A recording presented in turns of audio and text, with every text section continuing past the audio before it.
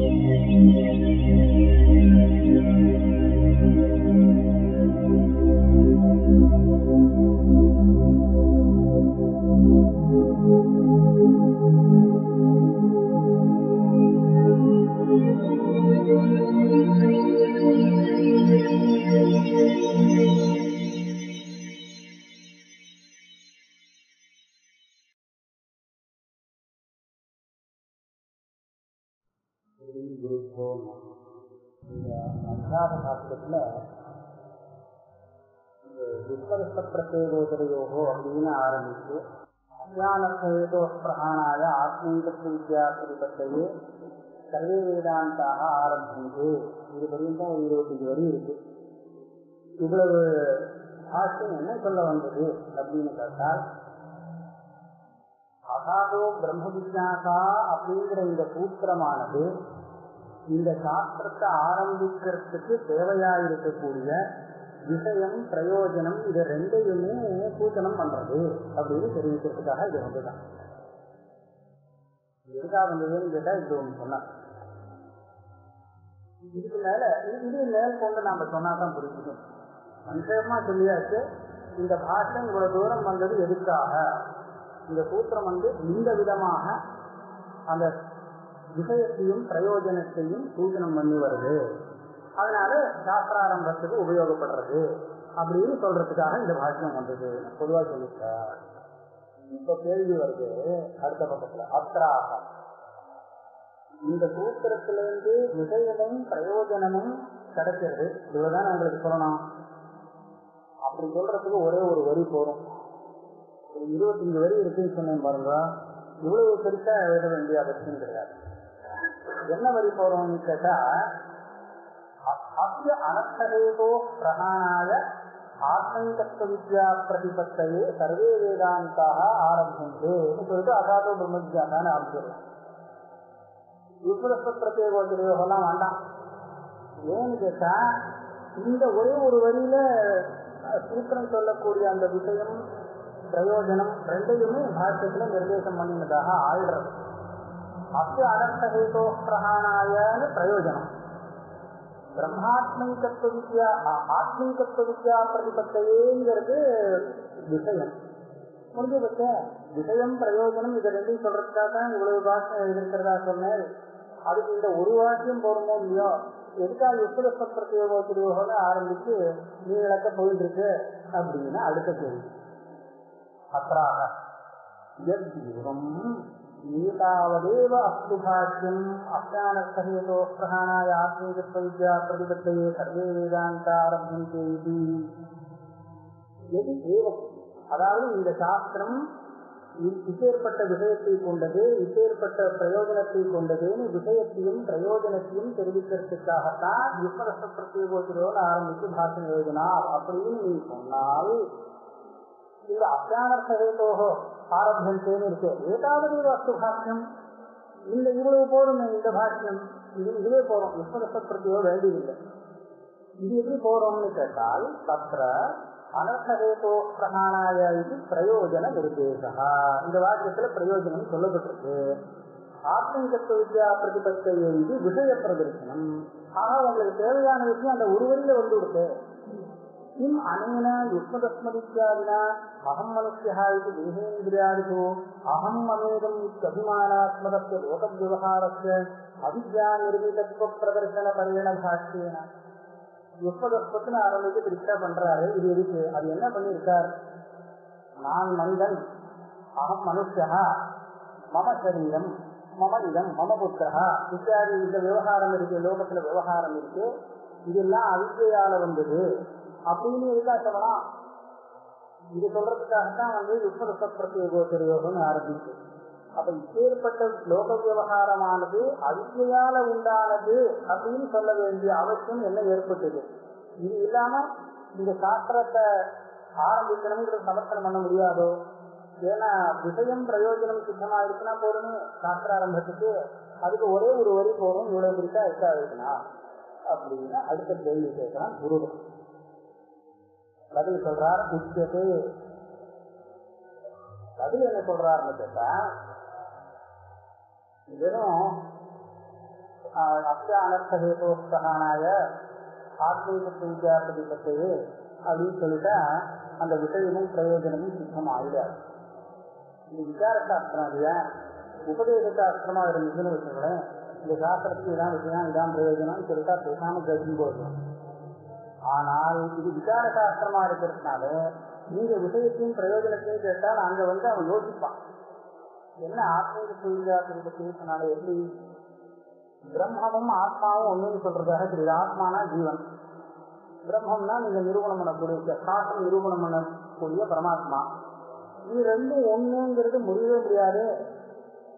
ஏன்னா ஆத்மாங்க ஆத்மா வேறு பெருசா இருக்கு. இது வேதம் நிரூபணம் பண்ணக்கூடிய அந்த பரமாத்மா வேற பெருசா நிரூபிக்கப்படுறது.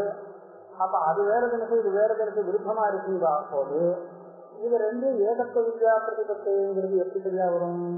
அப்படின்னு பிரச்சனை அதே மாதிரி அனர்த்த பிரதானாயன்னு சொன்னாலே அனர்த்த ஹேத்துவான இந்த அத்தியாசம் போகணும்னு நீங்க சொல்றது அகம் அகம் மனுஷா அப்படிங்கிற பாவம் போகும் எப்படி போகும்? இது போக முடியாது. ஏன்னு கேட்டால் இப்போ கிரமத்தினால வஸ்து தத்துவத்தை போக்க முடியுமோ? கழுத்தை பார்த்து அவன் பாம்புன்னு நினைச்சுட்டான் அதுக்காக கயிறு போகுமோ? போகாது. இப்ப என்ன ஆகும்னா நான் கர்த்தாங்கிறது உண்மை. அப்படி இருக்கும்போது நான் கர்த்தா இல்லே கர்த்தா இல்லேன்னு சொன்னதுக்காக அந்த கருத்துருபாவம் போகுமோ போக முடியாது. அகம் சம்சாரிங்கிறது வாஸ்தவம். அப்படி இருக்கும்போது அகம் மதங்கிறது நிஜம் தானே. அதுக்கு ஒன்றும் பாகம் தெரியல.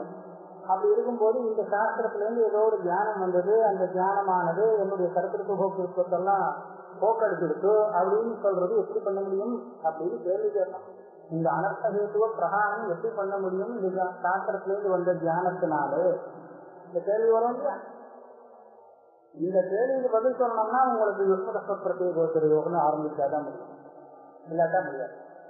அதுக்காக தான் ஆரம்பிச்சாரு ஆத்மனுஷா மனோதம் இதுவே முதல்ல தப்பு. இதுவே அத்தியாசம் தான் அப்படின்னு சொன்னா தான் அப்ப அகம் பண்றாரு. தப்புன்னு இருக்கு தப்புன்னா போக வேண்டியதானே சரியான தத்துவ தியானம் வந்தா அதை நிவர்த்தி பண்ணிடலாம் அதுக்காகத்தான் இதை ஆரம்பிச்சாருன்னு பதில் இது ஆரம்பித்தது சொந்தமா தன் இஷ்டப்படி ஆரம்பிச்சுடல பாஷ்யக்காரர். இது கூட அந்த சூத்திரத்திலேயே சூச்சனம் பண்ணப்பட்ட விஷயம்தான். சூத்திரத்துல சொன்ன விஷயத்தை உபபாதனம் பண்றதுக்காக தன் பக்கத்திலிருந்து இந்த அத்தியாசத்தை பாஷ்யக்காரர் சேர்த்து விட்டாரோன்னு நினைக்க வேண்டாம். இதையும் சேர்த்துதான் சூத்திரக்காரர் சொல்லி வச்சிருக்காரு. அது எப்படி இந்த நிரூபம் அதுதான் இங்க உள்ள விஷயம்.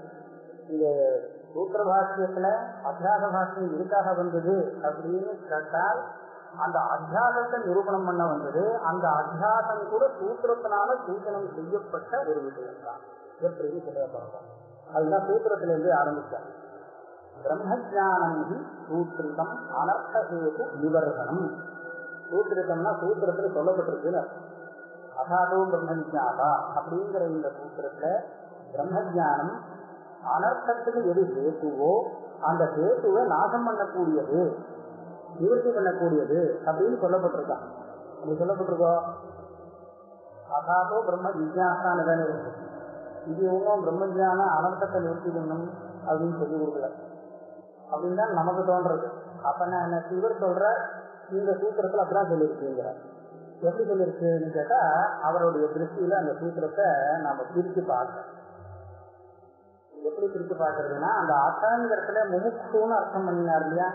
சாதன கிருத்த சம்பத்தி உள்ளவன். அப்படிதான் அர்த்தம்? அதாவது முமுக்ஷு மோட்சமும் வேணும்னு ஆசைப்படுறவன் மோட்சம் மோட்சம்னா என்னது? பந்தம் நிவர்த்தி ஆகணும்னு ஆசைப்படுறவன்னு வச்சுங்க மோட்சம் வேணும்னு ஆசைப்படுறதும் பந்தம் விலகணும்னு ஆசைப்படுறதும் ரெண்டும் ஒண்ணுதான். இல்லையா? அப்ப பந்த நிவர்த்தி பந்தத்தை ஏன் நிவர்த்தி பண்ணணும்னு ஆசைப்பட்டு இருக்கான் அது அனர்த்தம்னு தெரிஞ்சுட்டான் இல்லையா? அனர்த்தத்துல நிவர்த்தி தான் வேணும். அதனால பந்தத்தை அனர்த்தமாக அனர்த்தம்னா பந்தம் பந்தம்னா அனர்த்தம்னு சொல்றோம் இப்ப இந்த பந்தத்தை நிவர்த்தி பண்ணணும்னு ஆசைப்பட்டு இருக்கான் இந்த ஆசாமி. அசசப்தத்தினால சொல்றவன். இவனுக்கு பிரம்ம ஜிஜாச வந்துருக்கு ஜிஜாசா பிரம்ம ஜானத்துல இஷ்டம் வந்தது. முதல்ல எதுல ஆசை வந்திருக்கு. அனர்த்தத்தை எப்படா போக்குறதுன்னு பார்த்துட்டு இருக்கான். அந்த ஆசை உள்ளவனுக்கு பிரம்ம ஜானம் கிடைச்சது. இதுதான் அனர்த்தத்தை நிவர்த்தி பண்ணணும் உடனே அதுல ஆசை வந்தது. அப்பதான் பிரம்ம ஜிஜாசை பலத்துல எப்ப ஆசை வருமோ அப்ப என்ன ஆகும்? அதுக்கு என்னடா உபாயம்? தேடி பார்த்து இதுதான் உபாயம் தெரிஞ்சதுன்னா உடனே அந்த உபாயத்துல இஷ்டம் இச்சை வந்துடும் அப்ப அதை பண்ணிடுறது. இதை பண்ணினா நமக்கு அந்த பலன் கிடைக்கும். அப்படிதான் நமக்கு பொதுவாகவே எல்லா விஷயத்தையும் அப்படிதான் அப்ப இந்த முமுட்சாங்கிறது பல விஷயத்தை இச்சா இவன் அடைய வேண்டிய ஒரு பலன் என்னன்னா பந்த நிவர்த்தி மோட்சம். அதுல ஆர்வம் இருக்கு. அப்ப உபாயம் என்ன கிடைச்சது? இந்த மோட்சத்துக்கு பிரம்ம ஞானம் தான் சாதனம் அப்படிங்கிறத கண்டுபிடிச்சு அதுல இஷ்டம் வந்திருக்கு. அதைத்தான் இவர் சூசனம் பண்ணியிருக்கார். ஆக பிரம்ம ஜிஜாசா ஏன்னா பிரம்ம ஜிஜாசான்னு இருக்கா சொல்றோம்? பிரம்ம ஜானத்துல இஷ்டம் வந்திருக்குங்கிறது அந்த ஜிஜாசாங்கிற சம்பிரத்தியத்தினால தெரிவிக்கிறார். யாரும் யாருடைய இஷ்டம் இல்லைன்னா முமுட்சுக்கு வந்த வந்த இஷ்டம் யாருக்கு வந்த இஷ்டம் முமுட்சுவுக்கு. அப்ப மோக்கம் வேண்டிய வேண்டி ஆசைப்படுற ஆசைப்படுறவனுக்கு இந்த மாதிரி பிரம்மஜானம் வேணும் அப்படின்னு ஆசை வந்தது அப்படின்னு சொன்னா அந்த பிரம்மஜானமானது அவன் அபேட்சிக்கக்கூடிய அந்த மோட்சத்துக்கு சாதனம் அப்படிங்கிறது தெரிஞ்சு போறது அது இல்லாட்ட ஆசை வராது. அப்ப மோட்சத்துக்கு சாதனம்னு சொன்னா என்ன? பந்த நிவர்த்திக்கு சாதனம்னு சொன்னா என்ன? அனர்த்த ஹேத்துவ நிவர்த்தி பண்ண சாதனம்னு சொன்னா என்ன? எல்லாம் ஒண்ணுதானே? அப்ப என்னாச்சு? இந்த சூத்திரத்தை இந்த விதத்துல நாம அழைச்சு பார்க்கும்போது பிரம்ம ஜானம் அனர்த்த ஹேத்துவ நிவர்த்தி பண்ணக்கூடியது அப்படின்னு இந்த சூத்திரத்திலிருந்து கிடைக்கிறது. இதைத்தான் பஞ்சவாயுதாக்காரர் சொல்றார். பிரம்ம ஜானம் சூத்திரிதம் அனர்த்தேது ஹேது சரி அனர்த்தத்தை போக்கக்கூடியது. அனர்த்தத்தை போக்கக்கூடியதுன்னா அனர்த்தத்துக்கு எது காரணமோ அதோட சேர்த்து சமூலம். மூலத்தோட சேர்த்து அனர்த்தத்தை நிவர்த்தி பண்ணக்கூடியது பிரம்மஜானம்னு சொல்லிட்டார் அனர்த்தங்கிறது என்ன? அனர்த்த பிரமாதிருதா பிரமுகம் கர்த்திருவம் அப்படின்னு அனர்த்தம் வந்து நமக்கு ரொம்ப அனர்த்தம் எது தெரியுமா? முதல்ல போக்திருத்துவம் தான் அந்த அனுபவிக்கிறதுக்கு தான் நமக்கு கஷ்டம் தெரியுது. அனர்த்தம்னு தெரியுது. துக்கத்தை அனுபவிக்கும் போதுதான் அது அனர்த்தம்ங்கிறது தெரியுது. ஆனா அந்த போக்திரு போக்திருத்துவத்துக்கு காரணமா இருக்கிறது இவனுடைய கருத்திருத்தம். இவன் பண்ணினத்தை தானே அனுபவிக்கிறான். அதனால அந்த போக்திருத்துவத்துக்கு காரணமா இருக்கிறது இவனுடைய கருத்திருத்தம். இந்த கருத்திருத்தமும் வரத்துக்கு காரணமா இருந்தது இவனுடைய பிரமாதிருத்தம் இவன் தெரிஞ்சதுனாலதானே அதை பண்ணலாம்னு பண்ணினா? பண்ணினத்தால் தானே அனுபவிக்கிறான் அப்ப என்ன ஆச்சுன்னா இந்த பிரமாத்திருத்துவங்கிறது ரொம்ப மூலமா இருந்தது. முதல்ல அவன் பிரமாதா ஆயிடுறான். பிரமாதாவாக இருந்து விஷயத்தை தெரிஞ்சுட்டு அப்புறம் அதை கர்த்தாவாகிறான். கர்த்தா ஆனதுக்கப்புறம் போக்தா. இது திரும்பி திரும்பி வந்துட்டு இது போக்திருத்தம் போக்திருத்தத்தினால மறுபடியும் பிரமாத்திருத்தம் ஏன்னா போகம் பண்ணி வந்த அந்த வாசனை இருக்கு. அந்த வாசனை இவனை வந்து இவருக்கு மறுபடியும் பிரமாதத்துவ அத்தியாசத்தை ஏற்படுத்தி கொடுத்து மறுபடியும் கர்த்தாவாக்கி போக்தாவாக்கி இந்த மாதிரி பண்ணிட்டே இருக்கும் அதனால பிரமாதிருதா பிரமுகம் கருத்திருத்தம் போக்திருத்தம் அப்படின்னு சொல்லிட்டாங்க முதல் அனர்த்தம் என்னன்னா போக்திருத்தம்ங்கிறது நிஜமா நமக்கு அனர்த்தம்னு தெரியக்கூடியது. பிரமாதிருத்தம் அனர்த்தம்னு தெரிய தெரியாது. நான் அதை ஒரு அனர்த்தமா? அப்படி இல்லை. அது எப்படி அனர்த்தமா இருக்குன்னா அது மேற்கொண்டு வேலை செய்யுது கருத்திருத்தத்தை உண்டாக்கி போக்திருப்பம் வரை கொண்டு போய் சேர்ந்துடுறது. அதனால போக்திருத்தம் நமக்கு அனர்த்தத்து அனர்த்தம்னு தெரிஞ்சதுன்னா அதுக்கு காரணமான கருத்திருப்பமும் அனர்த்தமாயிடுது அதுக்கு மூலமா இருந்த பிரமாத்திருப்பம் அதுவும் சேர்ந்து அனர்த்தமா ஆக பிரமாத்திருப்பம் இப்ப அனர்த்தத்துல வந்து நின்றுது அதெல்லாம் இல்ல. அதனால பிரமாத்திருத்தா பிரமுகம்னு போட்டோம். அது நடுவில் என்னெல்லாம் வேணுமோ அதெல்லாம் சேர்த்து கொடுக்கும் முதல்ல தெரிஞ்சுட்டா அப்புறம் பண்ணுங்கிற ஆசை வந்தது பண்ணினா. பண்ணி அப்புறம் காத்துல இருந்தான் பணம் கிடைச்சது அனுபவிச்சான். எல்லாம் அந்த மாதிரி. நடுப்புல என்னெல்லாம் சேர்க்கணுமோ அவ்வளவும் சேர்த்து முடியாது ஆக பிரமாதிருத்தம் ஆரம்பத்துல இருக்கு. அதனால பிரமாதிருதா பிரமுகம் அப்படின்னா. இதுதான் மாயாகல்பித மாதிருதா முக மிருக தெய்வ பிரபஞ்சாக்கிறதுனா இங்கதான் ஆரம்பிச்சிருக்கு பிரமாதிருத்தத்துல இப்ப என்ன ஆச்சு? இந்த அனர்த்தம் வந்து தியானத்தினால போகும்னு அது இல்லையா அனர்த்த நிவர்த்திக்கு தியானம் காரணம் அப்படின்னு சொன்னால் இந்த பிரம்ம ஜானத்தினால அந்த அனர்த்தம் நிவர்த்தியாகக்கூடிய வஸ்துன்னு தெரியுது. தியானத்தினால எது நிவர்த்தி ஆகுமோ அது நிச்சயமா சத்தியமாகாது. எதையோ ஒண்ணு தெரிஞ்சிட்டதுனாலே போயிட்டு காணாம போயிடுச்சுன்னு சொன்னா ரஜுவை தெரிஞ்சிட்டதுனால சர்ப்பம் காணாம போயிடுச்சு. அப்படிதானே? அப்பதான் அந்த சர்ப்பம் உண்மையா இருக்க முடியாது. வசு வஸ்து தத்துவ ஜானத்தினால எது நிவர்த்தி ஆகுமோ அது நிஜமாகாது. இப்ப இந்த பிரம்மஜானத்தினால இந்த பிரமாதிருத்தம் கர்த்திருத்தம் போக்திருத்தம்ங்கிற அனர்த்தம் ஆத்மாவில தெரிஞ்சுட்டு இருக்கிற இந்த அனர்த்தம் காணாம போகும் அப்படின்னு இருந்தால் அப்ப இது ஒண்ணும் இல்லைன்னு ஆத்மாவில பிரமாதிருத்தமோ கர்த்திருத்தமோ போக்திருத்தமோ இது நிஜம் கிடையாது. நிஜமா இருந்தா தியானத்தினால போகாது. போகும்னு இப்ப இந்த சூத்திரத்துல இருந்து கிடைக்குது.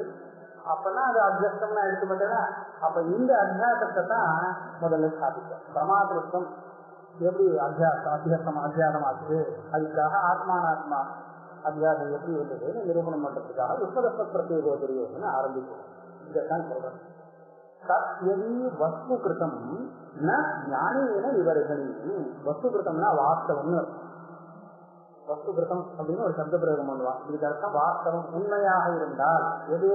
பிரமாதிருக்கா பிரமுகம் அந்த கருத்திற்கு போக்கிருக்கும் சொன்னாரு இது ஆத்மாவுக்கு உண்மையிலேயே இருந்திருந்தால் இருக்குமானால் ஞானேன நிபரகணியம் இது தியானத்தினால போகாது. வேற ஏதாவது பண்ணி வேணும்னா போகலாமோ என்னவோ. ஆனா தியானத்தினால நிச்சயமா போகாது. தெரிஞ்சின்ற மாத்திரத்தினால இது போயிடுச்சுன்னா அப்படி நடக்கவே நடக்காது. நிஜமா இருந்தால். ஏன்? யதா தியானம் அஜானத்தைவ நிவர்த்த தியானம் வந்து அஜானத்தை நிவர்த்தி பண்ணணுமே தவிர வேற எந்த வசதியும் ஒண்ணும் பண்ணாது. ஒரு விஷயம் தெரியுது அப்படின்னு சொன்னா இது தெரியாம இருந்தது இப்ப தெரியுது. அப்ப இந்த விஷயம் இந்த வஸ்து விஷயத்துல எனக்கு இருந்த அஜானம் நிவர்த்தியாச்சுன்னு தான் சொல்லலாமே தவிர மற்றபடி இந்த தியானம் அந்த வஸ்துவில எந்த ஒரு விசேஷத்தையும் உண்டாக்க முடியாது. அதனால தியானம் அஜான செய்வ நிவர்த்தகம் இதோட முடியும். இப்போ தத் எதி கர்த்திருத்த போக்திருத்தம் அஜான ஹேதுகம் யார் ததா பிரம்மஜானம் அனர்த்தஹேது நிபர்சனம் முக்கியமானம் உபபத்தியத இப்ப பாருங்க. பிரம்மஜானத்தால கர்த்திருத்தம் போக்திருத்தங்கள்லாம் நிவர்த்தி ஆகணும் பிரம்மஜானம் அப்பேற்பட்ட அனர்த்தத்தை நிவர்த்தி பண்ணக்கூடியதாக ஆகணும் அப்படின்னு சொன்னால் இந்த கர்த்திருத்தம் போக்திருத்தங்கள்லாம் ஞானத்தினால நிவர்த்தியாகக்கூடிய அஜானம்னு ஒண்ணு இருக்கு அதனால வந்ததாக இருக்கணும். கர்த்திருத்த போக்திருத்தம் அஜானத்தினால ஏற்பட்டதாக இருந்தால்தான் தியானத்தினால தியானம் வந்த உடனே அது நிவர்த்தியாக முடியும். இல்லாட்டா அது நிவர்த்தி முடியாது. எதி கர்த்திருவ போக்திருத்தம் அஜான ஹேதுக்கம் அஜானத்தை ஏதுவாக காரணமாக கொண்டதாக இந்த கர்த்திருவ போக்திருத்தம் இருக்குமானால் அப்பதான் ததா பிரம்ம ஜானம் அனர்த்த நிவர்த்தனம் முக்கியமான உபபத்தியத்தை. இதை நிவர்த்தி இந்த அனர்த்தத்தை நிவர்த்தி பண்ணுங்கிறது உபகரணமா? இல்லாதான் முடியாது. ஏன்னா ஆக இந்த விதத்துல சூத்திரகாரேணைவ பிரம்மஜானம் அனர்த்தஹேது நிவர்சனம் சூச்சயதா. அவித்யாஹேதுக்கம் கர்த்திருவ போக்திருத்தம் பிரதர்சிதம் பவதி. ஆக இந்த கர்த்திருவம் போக்திருத்தம் பிரமாதிருத்தம் இதெல்லாம் அவித்யால ஆத்மாவுக்கு வந்தது அப்படிங்கிறத சூத்திரக்காரர் இப்படி சூதனம் பண்ணிருக்கான் பாருங்க இதுல பிரம்ம ஜிஜாசா அப்படின்னு போட்டதுனாலதான் சூச்சனையே பண்ண முடியுது இதுக்கு பதில் அவர் ஏதோ பிரம்ம மீமாம்சா இல்ல வேதாந்த மீமாம்சா அப்படின்னு ஆரம்பிச்சாருன்னா இந்த விஷயத்தெல்லாம் அவரால் சூச்சனை பண்ண முடியாது. ஜிஜாசான்னு போட்டதுனால சிக்ஷா விஷயமாக பிரம்மஜானம் தெரியுது ஏற்கனவே ஒரு இச்சை இருக்கிறவனுக்கு பிரம்மஜானத்துல இன்னொரு இச்சை வந்தது எப்படி அப்படின்னு பார்க்கறச்ச அது ரெண்டுக்கும் ஒரு காரியக்காரண பாவம் இருக்கு. மோட்சத்துக்கு பிரம்மஜானம் சாதனம்ங்கிறதுனாலதான் அவனுக்கு இந்த இச்சை இருக்குன்னு நம்மளால புரிஞ்சுக்க முடியுது. அப்படி புரிஞ்சுக்க புரிஞ்சுக்கிறதுக்கு தான் தியானத்தினால அந்த பந்தம் நிவர்த்தி ஆகும்னு சொன்னால் அது என்னவா இருக்கணும்? அபியசமாக தான் இருக்கணும். அப்படிங்கிறத ஊகிக்க முடியும் இவ்வளவு ஊகிக்கிறதுக்கு அவள் இடம் வைக்கிறதுக்காக பிரம்ம ஜிஜாசான்னு கஷ்டம் போட்டான். ரொம்ப கஷ்டப்பட்டு அஹ், சூக்மமா பரிசீலனை பண்ணி எடுக்கிறார் இந்த மனசுல வச்சு பாஷக்காரர் அத்தியாசத்துல ஆரம்பிச்சார். அதனால சூத்திரக்காரரு எல்லாம் சொல்லி கொடுத்த விஷயம்தான். அவர் சூத்திரம் பண்ணிவிட்டார் இத விவரமா சொல்றார். அதா சூத்திரார்த்த உபபத்தி உபயோகிதையா? சகலதந்திர உபோத்காதா பிரயோஜனம் அஸ்ய அந்த விஸ்வரசத்திர பிரத்யேகோத்தரையோகன்னு ஆரம்பிச்சு நிறைய எழுதிட்டாரு. இந்த பாஷ்யம் என்னத்துக்காகன்னு கேட்டா சூத்திரார்த்தத்தினுடைய உபபத்தியை நாம புரிஞ்சுக்கிறதுக்காகவும் இந்த விதமா அந்த இதை புரிஞ்சுக்கிறதுக்காகவும். அது மாத்திரம். சகல தந்திர உபோத்காதா தந்திரம்னா சாஸ்திரம். இந்த ஒரு அதிகரணம் இல்லை. மொத்தமா இந்த சாஸ்திரம் பூரா இந்த அத்தியாசம் சித்திச்சாதான் சித்திக்கும் இல்லாட்டா முடியாது. சரியா? ஏன்? அந்த விஷயமும் பிரயோஜனமும் இந்த அத்தியாசம் சித்திக்காமல் சொல்ல முடியாது. விஷயம் பிரயோஜனம் சித்திச்சாதான் இந்த சாஸ்திரம் ஆரம்பிக்க வேண்டியதாக சித்திக்கும் ஆக இல்லாட்டா பிரயோஜனம் இல்லாத சாஸ்திரத்தை எதுக்காக படிக்கணும்னு வருங்க அதனால விஷயம் பிரயோஜனம் சித்திக்கிறதுக்கு இந்த அத்தியாசங்கிறது ரொம்ப முக்கியமா இருக்கிறதுனால சர்வசாஸ்திரத்துக்கும் உபோத்காத ரூபமாக இந்த பாஷ்யம் வந்திருக்கு. அப்படின்னு உபோத்காதம் உபோத்காதங்கிறது என்ன அர்த்தம்னா லக்ஷ்மணன் சொல்லுவா சிந்தாம் பிரகிருத சித்தர்த்தாம் உபோத்காதம் இது துகாகா அப்படின்னா என்ன அர்த்தம்? எந்த ஒரு விஷயத்தை நாம் ஆரம்பிக்கணுமோ அது ஆரம்பிக்கிறதுக்கு முன்னாடி அது ஆரம்பிக்கிறதுக்கு தேவையான ஒரு விஷயத்தை நிரூபணம் பண்ணினால் அதுதான் அதுக்கு உபோதிசாதம் பின்னாடி எதை சொல்லப்போ பின்னாடி எதை பத்தி நாம பேசணுமோ அந்த விஷயத்தை நிரூபணம் பண்றதுக்கு முன்னாடி அதுக்கு தேவைப்படக்கூடிய ஒரு விஷயத்தை நிரூபணம் பண்ணினா இது அதுக்கு உபோத்காரம் அப்படின்னு உபோத்காரம் இப்ப அத்தியாசம் அப்பேற்பட்டதுதான் பிரம்ம விசாரம் வேதாந்த வாக்கிய மீமாசான்னு ஒண்ணு ஆரம்பிக்க போறார். இது ஆரம்பிக்கணும்னு சொன்னா வருஷத்துக்கு முன்னாடி இந்த அத்தியாசத்தை பற்றி தீர்மானம் பண்ணிட்டாதான் இது ஆரம்பிக்கணுங்கிறது சுத்தமாவது விஷய பிரயோஜன சித்தித்வாரா ஆகையால் இது வந்து உபோத்காதமாக அமைஞ்சிருக்கு. தகாத அஸ்ய சாஸ்திரத்திய ஐதம் பரியம் ஐதம் பரியம் தாத்பரியம் இதெல்லாம் ஒரே இருக்கும் தாத்பரியம் ஐதம் பரியம் ரெண்டும் ஒரே இருக்கும் இந்த சாஸ்திரத்தினுடைய தாத்பரியம் என்ன? சுசித்ததான சதாத்மக பூதஸ்த சைதன்யரசதா சம்சாரித்வாபிமதஸ்ய ஆத்மன பாரமார்த்திகம் ஸ்வரூபம் இது வேதாந்தாத்பரியவசியம் இன்னும் ஜாகிரதையா எழுதிட்டேன். சம்சாரின்னு நாம நினைச்சிட்டு இருக்கோமோன்னு ஒரு ஆத்மாவை. சம்சாரி சுவாபிமதா ஆத்மா. சம்சாரின்னு நினைச்சிட்டு இருக்கிற ஒரு ஆத்மா இருக்காங்க அவனுடைய பாரமார்த்திகம் ஸ்வரூபம் உண்மையான ஸ்வரூபம் என்னன்னு கேட்டால் சுகைகதான சதாத்மக பூதஸ்த சைதன்யரசதா சுகைகதான துக்கக்கலப்பு இல்லாதேன்னு ஏகதானங்கிற ரெண்டு சப்தம் இதுக்கு விருத்தமான ஒரு அம்ச கலப்பட கலப்பு இல்லைங்கிறத தெரிவிக்கிறது. சுகைகதான சதாத்மகனா சத்தியம். கூடஸ்தன்னா நிருவிகாரம் சைதன்யம்னா தியானம் அது சைதன்யங்க ரசதா கொஞ்சம் கூட ஜட சம்பந்தமே இல்லை. ஜட கலப்பே இல்லாத சுத்த சைதன்யம்ங்கிறது சைதன்யங்க ரசம்னு சொல்றது. இந்த ஏகதானா ஏகரசம் எல்லாம் ஒரே அர்த்தம். இதுதான் இவனுடைய உண்மையான பாரமார்த்திக ஸ்வரூபம் அப்படின்னு எது சொல்லுவது? இது வேதாந்தா. வேதாந்தங்களுக்கு இது தாற்பயம். அப்படின்னு சொல்றது இந்த சாஸ்திரத்துக்கு தாற்பயம். நீங்க ரொம்ப ஜாகிரதா பண்ற பட்சத்துல அதாவது இந்த பிரம்மசூத்திரம் வந்து ஜீவனுடைய ஸ்வரூபம் இதுதான். அப்படின்னு தாத்பரியம் கொண்டதாக நான் சொல்ல வர மாட்டேன். வேதாந்தத்துக்கு என்ன தாற்பயம்னு சொல்லிக் கொடுக்கறது தான் இந்த பிரம்மசூத்திரத்தினுடைய விஷயம். ஜீவன் எப்படின்னு சொல்லிக் கொடுக்கறதுக்காக வந்ததுன்னு நினைக்கக்கூடாது. வேதாந்தம் இதைத்தான் சொல்லிக் கொடுக்க வந்ததுன்னு அதனுடைய தாற்பயத்தை வேதாந்த இதனால் சொல்ல முடியும். வேதாந்த மீமாசா சாஸ்திரம்ங்கிறது வேற. ஏன் தெரியும் அது? அப்படி சொல்லலேன்னு சொன்னா உபனிஷத்தையே படிக்க வேண்டாம் பிரம்மசூத்திரம் படிச்சா போறோம். இதோடைய தாற்பயமும் அதே தாற்பயம் தானே? அப்படின்னு ஆயிடும் உபனிஷத்திலேருந்து தான் நமக்கு ஞானம் வரணும். பிரம்மசூத்திரத்திலேருந்து இல்லை. ஆனா உபனிஷத்திலேருந்து அந்த தியானம் வரத்துக்கு இந்த பிரம்மசூத்திரமானது நமக்கு இதுக்கடுத்ததுதா உபகாரகமாக இருந்தார். மீமாசா சாஸ்திரத்தை சாட்சாத் அந்த ஞானத்துக்கு பிரமாணமா எடுத்துக்கல. உபகாரகமாகத்தான் எடுக்கின்றதா பூர்வ மீமாசா சாஸ்திரமே அப்படிதான் இது குமாரபட்டர் சொல்வார் அர்த்தங்கிறது அங்க தெரிஞ்சுக்க வேண்டிய பிரமேயம் அது தெரிஞ்சுக்கிறதுக்கு சாட்சா பிரமாணமாக இருக்கிறது வேதம். அப்ப இந்த மீமாசா சாஸ்திரம் என்ன பண்றது? உபகாரம் பண்றதுதான் தர்மே பிரமீயமானி வேதேன கரணாத்மனா. இது கர்த்தவியதாபாகம் மீமாம்சா பூரவிக்கு அந்த வேதங்கிற பிரமாணத்தினால தர்மங்கிற பிரமேயத்தை புரிஞ்சுக்கிறதுக்கு சகாயம் பண்ணும் இந்த மீமாம்சா சாஸ்திரம்.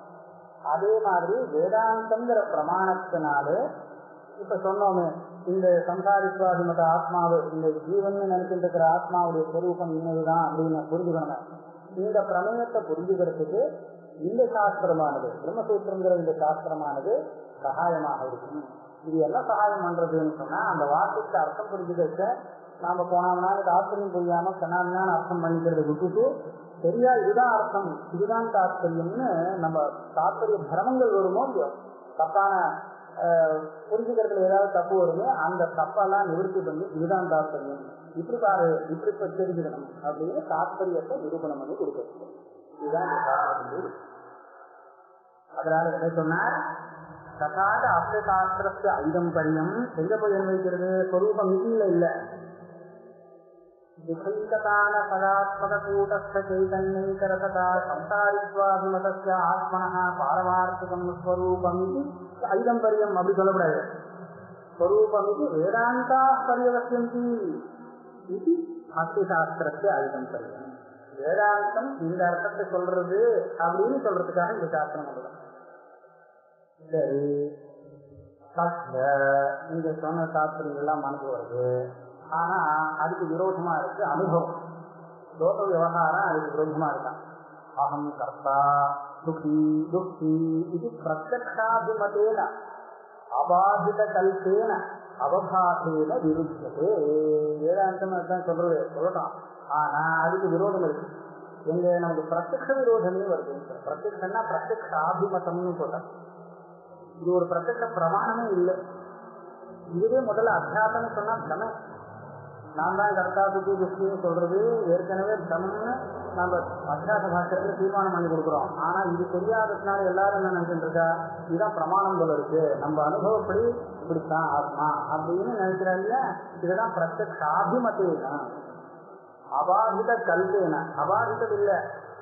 நிஜமா தத்துவஞானம் வந்தா இது ஒழிய போயிடும் காணாம போயிடும். ஆனால் அது வந்து இல்லையோனோ தத்துவஜானம் அதனால இது அபாதித கல்பமா இருந்துருக்கு இதுதான் உண்மை ஆக்கம்னு நினைச்சுட்டே இருக்கான். இதுக்கு பாதமே கிடையாது. நான் கர்த்தாங்கிறது எப்பவுமே பாதிக்கப்படாது.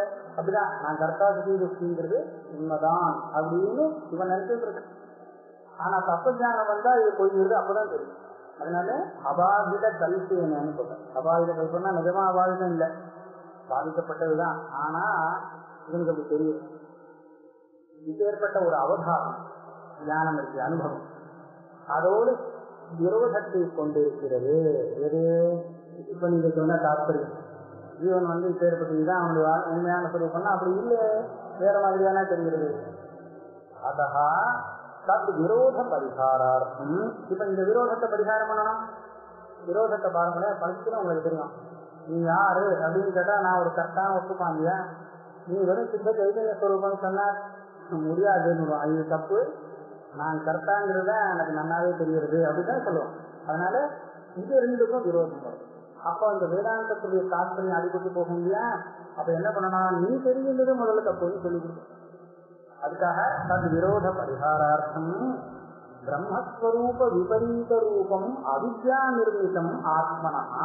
இந்த ஆத்மாவுக்கு திருப்பி சொல்லி கொடுத்த ரூபத்துக்கு விருத்தமான ரூபம் செஞ்சுருக்கு அது எப்படி வந்தது தெரியுமா? அவித்யால வந்தது. அவித்யா நிர்மிதம் அது நிஜம் கிடையாது. அப்படின்னு நிரூபணம் பண்ணணும். இதை நிரூபணம் பண்ணலைன்னா நீங்க எத்தனை சாஸ்திரம் சொன்னாலும் ஏறாது. இது யாவது ந யாவது தாவத்து ஜரத்கவாதி வாக்கியவத்து அனர்த்தகம் பிரதிபாதி நீங்க சொல்லிட்டே இருக்க வேண்டியதுதான். ஒன்றும் புரியல. நிறைய அனர்த்தம் என்னமோ உலர அப்படின்னு சொல்லுவான் ஜரத்கவ வாக்கியம்னா உலர அர்த்தம் இல்லாத வாக்கியம்ங்கிறதுக்கு உதாரணம் ஜரத்கவகால வரக்கூடிய ஒரு வாக்கியோட ஒரு ஸ்லோகம் மாதிரி ஒன்று இருக்கு. அந்த ஸ்லோகத்துக்கு அர்த்தம் கிடையாது. வெறும் படங்கள்லாம் சரி ஸ்லோகம் மாதிரி இருக்கும். ஜரத்கவஹா கம்பளபாதுகாம் துவாரிஸ்திதோ காயதி மத்திரகாணி சம்பிராமணி பிருஷ்டி புத்திரகாமா ராஜன் ருமாயாம் லகுனஸ்ய கோர்பா சாபர வாக்கியத்திலும் இதே ஸ்லோகத்தை கொடுத்துருக்கா அர்த்தம் இல்லாத வாக்கியம் அந்த மாதிரி ஏதோ சொல்லிட்டு இருக்கு ஒன்றும் தெரியலன்னு தோணும். அத்தா தன் நிவர்த்தியர்த்தம் அவித்யாவிலசிதம் அப்பிரம்மஸ்வரூபத்துவம் ஆத்மனா இது பிரதிபாதை செய்யும் அதனால் இப்படி ஆயிடக்கூடாதுங்கிறதுக்காக ஆத்மாவுக்கு அப்பிரம்மஸ்வரூபத்துவம் நமக்கு தெரிஞ்சிருக்கு இது பிரம்மம் இல்லைங்கிற ஒரு ஸ்வரூபம் இது வந்து அவித்யா விலசிதம் அவித்யுடைய வேலை இது அவித்யாக்காரி அப்படிங்கிறத நிரூபணம் பண்ணியே ஆகும் அதுக்காக தான் யுக்மத பிரத்யேகோத்தரையோசனை ஆரம்பிக்கும் இதெல்லாம் வந்து இங்க ஆரம்பித்த விஷயம் சூத்திரக்காரர் மேற்கொண்டு அவரு வெளியிடுறார் வஸ்துவிக ஏதது ஜீவ பிரக்ரியாயாம் சூத்திரக்காரா தத் குணகாரத்வாத்யாயினா இவங்க முதல்ல இப்ப தேவைப்பட்டதுன்னு சொல்லி வார்த்தைக்காரர் உபோத்காத்மா நிரூபணம் பண்ணார் சூத்திரத்தில் இல்லாதது இல்லை. நீங்க சூத்திரம் பண்ணின மாத்திரம் இல்லை. மேற்கொண்டு இரண்டாவது அத்தியாயம் அவிரோதத்தை நிரூபணம் பண்ணக்கூடிய அத்தியாயம் இது திவ்யாத்தியாயம் இருக்கு.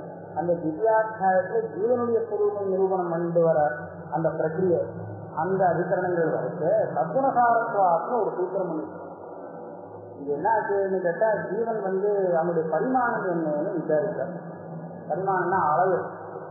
குட்டியா இப்ப பரமாணுவா இல்ல சரீரம் அவ்வளோ பெருசா இருக்குமா அவ்வளவு பெருசா? இல்லை ஆகாசம் போல வியாபகமா? என்ன பண்றதுன்னு கேட்கிறான் பூர்வபக்ஷம் என்ன வருது? பரமாணுவா வச்சிருந்தா நமக்கு சௌரியமா இருக்கணும் ஏன்னா பரமாணுவா இருந்தா அவனை நிச்சயமா வச்சுக்கணும். சரீரம் அளவுன்னு வச்சுக்கிறது அவ்வளவு சரியில்லை அதிகமா போகுது. ஏன்னா சரீரம் ஒரு மாதிரி முதல்ல சின்னதா இருக்கு கொஞ்சம் கொஞ்சமா வளர்றது பெருசா போறது. ஆத்மா வளர்றதுன்னு சொல்லலாமா? அது நல்லா இருக்காது. அதனால பரமான சுரூபமா சொல்லிட்டேன்னா அது நிச்சயமா வச்சுக்கலாம். அணுவாக வச்சு போகணும்னு ஒரு பக்கம். எதுக்காக? விபுவா வச்சிருந்ததுன்னா நகர முடியாது ஆத்மாவால. நகராட்டா என்னன்னு கேட்கிறீங்களா? உட்கிராந்தி கத் யாதவீனா இவனுக்கு சம்சாரத்துல இந்த தேகத்தை விட்டு கிளம்பணும் கிளம்பி தேகாந்தரத்துக்கு போகணும் திரும்பி வரணும் சொர்க்கத்துக்கு போயிட்டு திரும்பி வரணும் இவ்வளவுதான் பண்ணணும்னு சொன்னால் இவன் வந்து விபுவா இருந்தா அது முடியாத ஆத்மாவா இருந்தா எப்படி பண்ண முடியுங்களா இல்லையா? ஆகையால இது முடியாது. போயிட்டு ஜென்மாந்திரத்துக்கு அங்கெல்லாம் போய் சஞ்சாரம் பண்ணி பல சொர்க்கலோகம் பிரம்மலோக பரியந்தம் போயிட்டு திரும்பி வரத்துக்கு ஜீவனுடைய பரிமாணம் எந்த மாதிரியா இருந்தா ஒத்து வரும் அப்படின்னு கேட்டா ஒரு மத்தியம பரிமாணம் லாயத்தில் வீணா போடுறது அதாவது ஜீவனை நாசம் பண்ணக்கூடியதாக இருக்குங்கிறதுனால அணுபரிமாணமாக வச்சுப்போம் அப்படின்னு பூர்வபக்ஷம் வந்துருக்கு பரமானவா சொல்லிட்டா அது என்னைக்குமே விநாசமாக எப்போ இருந்துருக்கும் மத்தியம பரிமாணமா இருந்தா உடஞ்சு போயிடும். அப்படின்னு சொன்னா இப்போ இதுக்கு சித்தாந்தம் சொல்ற கிடையாது. ஜீவனுடைய பரிமாணம் விபுதான் ஆகாசம் போல. அப்ப எப்படி இங்க போறது வருதெல்லாம்? உத்ராந்தி கதி ஆகதி எல்லாம் எப்படி வர முடியும் பண்ண முடியும் அப்படின்னு கேட்டா அதுக்கு பதில் சொல்றதுக்காக இந்த சூத்திரம் வந்தது.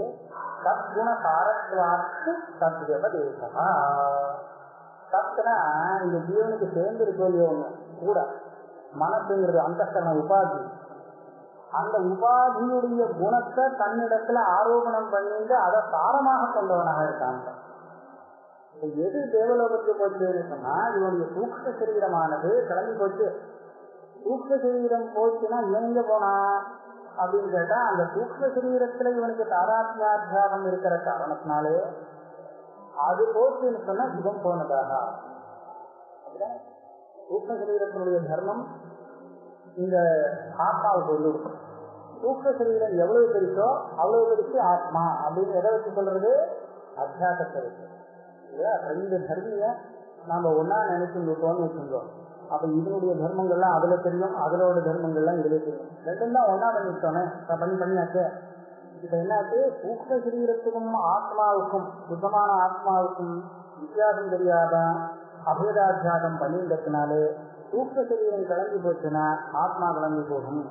சூக்ம சரீரம் திரும்பி வந்தால் ஆத்மா திரும்பி வரும். இதுதான் இதை. சத் குணசாரத்வம் இந்த சூக்ஷத்து உபாதியுடைய குணங்களை சாரமாக கொண்டவன் ஆத்மா அப்படின்னு சொன்னா உபாதியுடைய குணம்னு சொல்லிட்டு அது ஆத்மாவுடைய சாரம் எப்படி ஆகும்? அத்தியாசத்தினால தான் முடியும்.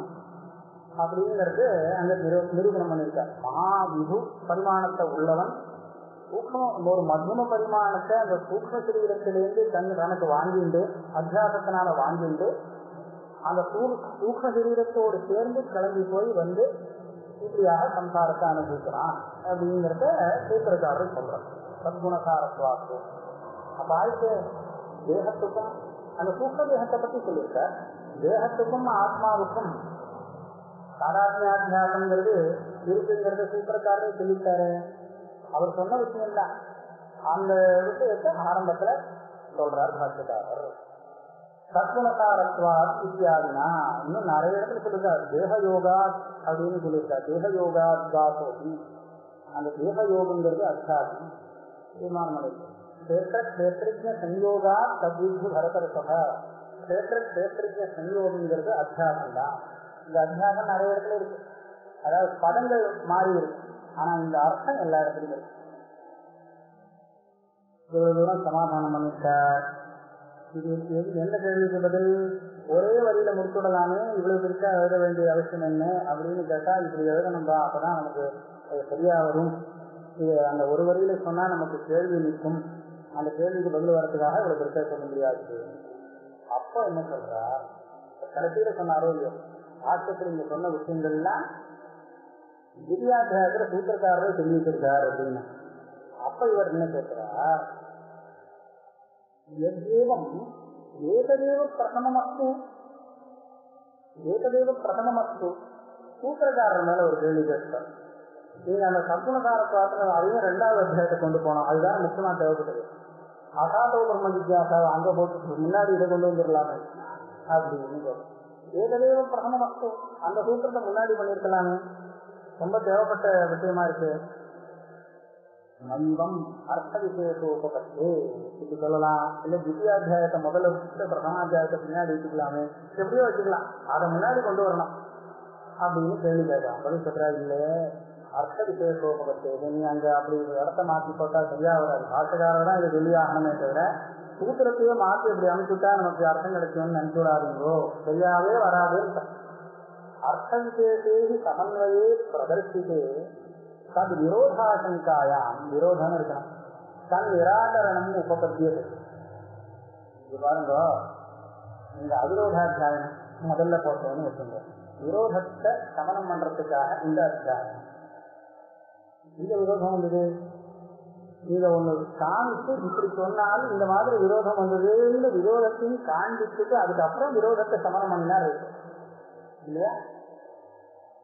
விரோதம் வரத்துக்கு உபனிஷத்து இந்த மாதிரி சொல்றது அப்படின்னு ஒரு விஷயத்தை எடுத்து காமிக்கணும் முதல்ல. அப்புறம் நம்ம வந்து பிரத்யட்ச அனுமான பிரமாணங்களை வச்சிருந்து அதை விரோதம் பண்ணுவோம். ஓ இப்படி விரோதம் வருதா? அப்படின்னா விரோதத்துக்கு பரிகாரம் பண்றதுக்காக நான் வேற வழியை பார்த்தேன். அப்படிதானே? விரோதமும் இன்னும் வந்தபாடு இல்லை. ஏன்னா நீங்க என்ன சொன்னேன்னே தெரியாது. சாஸ்திரமும் இன்னும் ஆரம்பிக்கலையே. இல்லையா? என்ன சொன்னேன்னே தெரியாதுங்கிற போது அந்த விரோத பரிகாரத்துக்காக நம்மளால பிரவர்த்திக்க முடியுமா? இல்லையா? அதனால இந்த அர்த்தத்தை உபனிஷத்து சொல்றதுன்னு முதல்ல சமன்வயாத்தியாயத்துல சொல்லணும். அப்படி சொன்னதுக்கு அப்புறம் நான் அது மேல என்னுடைய விரோதத்தை தெரிவித்தேன். எனக்கு விரோதம் சங்கல் இப்படி வர முடியாது தப்பாச்சு அப்படின்னு. அப்ப நீங்க விரோதம் பரிகாரம் பண்ணாது இல்லையா? அதனால அவிரோத அத்தியாயத்தை முதல் அத்தியாயமா வச்சிருக்குங்கிறது ஒத்தே வராது. முதல்ல சமன்வயாத்தியாயம் சொல்லிட்டு அது மேல வந்த விரோதத்தை பரிகாரம் பண்றதுக்கு அவிரோதாத்தியாயம் இரண்டாவதாகத்தான் இருந்தாகணும். அப்படி சொல்லும் போது இந்த சூத்திரங்கள்லாம் ரெண்டாவது அத்தியாயத்தில் இருக்கிற சூத்திரத்தை முன்னாடி கொண்டு போடலாம்னா முடியாது. அப்படி பண்ணா சூத்திரத்துக்கு ஒத்து வராது. அர்த்த விசேஷி சமன்வயை பிரதர்சித்தே சமன்வயத்தை பிரதர்சனம் பண்ணினதுக்கு அப்புறம்தான் தத் விரோத ஆசங்காயா இந்த மாதிரி நீங்க சொன்னாலே அது செய்யாதல்லையே யுக்தி விரோதமா இருக்கேன்னு சண்டை வரும். அது வந்ததுக்கு அப்புறம் தன் நிராகரணம் உபபத்தியது நியாய விரோத பரிகாரம்னா அங்க பண்ற வித்தியாத்தியாயம் அப்ப அது சரியா இருக்கு அப்பிரகடித்தே சமன்வய விசேஷே சமன்வயமே நீ சொன்னபாடு இல்லை என்ன விஷயம்னே தெரிவிக்கல. ஏன்னா இது வயோதாத்தியாயம் முன்னாடி வந்துருச்சுன்னா அந்த சமயத்துல சமன்வயமே தெரியாது. அப்படி இருக்கும்போது தத் விரோதாசங்கா தன் நிராகரணம் நிர்விஷயம் இது வரவே வராது. கண்டியும் வராது. அதை நிராகரணம் பண்ணினா அவன் என்ன விரோதம்? எதுக்காக நிராகரணம்? இன்னும் தெரியாது அப்ப பாஷ்யக்காரர் மாத்திரம் அந்த நான் அப்புறமா திவ்யாத்தியாயத்துல இதெல்லாம் வரும்னு ஒரு வார்த்தையை சொல்லிட்டு போயிடலாமா? இதையும் யுப்பரஸ்த பிரத்யோகத்துக்கு ஆரம்பிச்சார் சூத்திரக்காரர் எந்த இடத்துல சொல்றாரோ அங்கதான் நியாயமா பாஷ்யக்காரர் வந்து இந்த விஷயத்தை எடுத்துக்கிறணும். ஏன் மேல சொல்ல போறாருன்னா அங்கேயே சொல்லிக்கலாமே. இங்க ஆரம்பத்துல அதையும் கொண்டு வந்து சேர்க்கணும் அப்படின்னு கேட்டால் அதுக்கு சொல்றார் பாஷ்யக்காரத்து சப்தித்தமேவ. அதாவது அந்த அவிரோதாத்தியாயத்துல தத்குணசாரத்வாசன சூத்திரம் சொல்லிட்டு அந்த சூத்திரத்துல சித்தமான விஷயத்தையே ஆதிசூத்திரேன சாமர்த்தபலேன சூத்திரம். இந்த பாருங்க.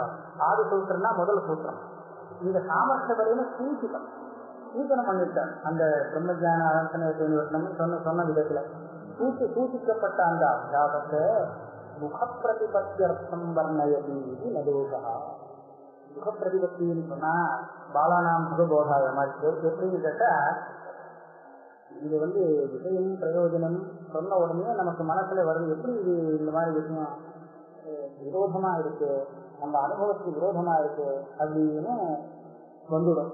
இது வந்ததுக்கு அப்புறம் நீங்க மேற்கொண்டு சாசனம் சொன்னா யாராது? இதுக்கு ஒரு சமாதானம் சொல்லியா இப்ப சமாதானம் சொல்லாமல் நீங்க மேல போனதுன்னா நம்ம சரியா ஏற்றுக்க முடியாது கிருஷ்ணனால அந்த விஷயத்தை இல்லையா? அதுக்காக இந்த மாதிரி கஷ்டப்படாம விஷயம் மனசுல ஏறுவதற்காக அந்த மேல சொல்ல போற விஷயத்தை இங்கே எடுத்துக்கிட்டு இந்த மாதிரி பா அதனால நீ கஷ்டப்பட வேண்டாம்னு சொல்றது. சுகப்பிரதிபத்தியம் கண்ணையதும் இது நடுவோட்டா அதனால இவ்வளவு தூரம் அந்த அத்தியாக பாஷ்யத்து மேல இவ்வளவு விசாரம் பண்ணிருக்காரு பாருங்களேன் அப்ப இது இருந்தா மேற்கொண்டு மற்ற இடத்துக்குலாம் போறோம் முதல் முதல்ல வந்தது இதுதானே. அத்தியாக பாஷ்யத்தை பத்தினா விசாரம். இருக்கா இந்த அத்தியாக பாஷ்யம் பண்ணுது ஏன் இந்த மாதிரி வந்தது? ஒரே ஒரு ஒரு எழுதினா போறாதா? இது அங்க சொல்லியிருக்காரு சூத்திரக்காரர் சொல்லியிருக்காருன்னா அங்கேயே இவரும் சொல்லிட்டு போட்டுமே ஏன் இங்க முன்னாடி சொல்லணும்? அப்படிங்கிற எல்லா விஷயத்துக்கும் இந்த இந்த மாதிரி சமாதானம்.